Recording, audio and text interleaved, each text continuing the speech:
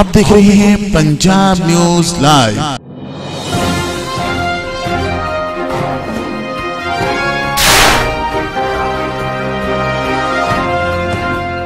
جی خبر شامل کرتے ہیں۔ سمندری سے سمندری کے علاقہ تھانہ ترخانی میں ایک انتہائی افسوسناک واقعہ پیش آیا ہے۔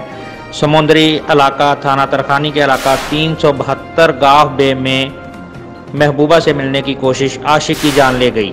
سمندری چک نمبر 136 گاہ بے قائد اعظم کالونی کے رہائشی تیس سالہ اکرم مسیح کو دلاور وغیرہ نے ڈنڈوں اور سوٹوں کے وار کر کے قتل کر دیا اسی پر مزید جانتے ہیں اپنے بیورو چیف میاں زاہد حنیف سے جی میاں زاہد حنیف آگاہ کیجیے گا یہ افسوسناک واقعہ کہاں پر اور کیسے پیش آیا جی بالکل، سمندری علاقہ تھانہ ترخانے کی حدود میں جو دوسرا واقعہ آج پیش آیا ہے۔ جی قتل کا محبوبہ سے ملنے کی کوشش سمندری عاشق محبوبہ سے ملنے آیا تھا اور جان کی بازی ہار گیا۔ سمندری ایک سو چھتی گاہبے قائد اعظم کالونی کے رہائشی تیس سالہ اکرم مسیح کے تین سو بہتر گاہبے کی رہائشی سگرا بی بی کے ساتھ تعلقات تھے۔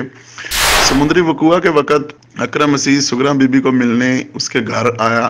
یا سمندری جہاں سگرا بی بی کے خامن دلاور حسین نے انہیں دیکھ لیا۔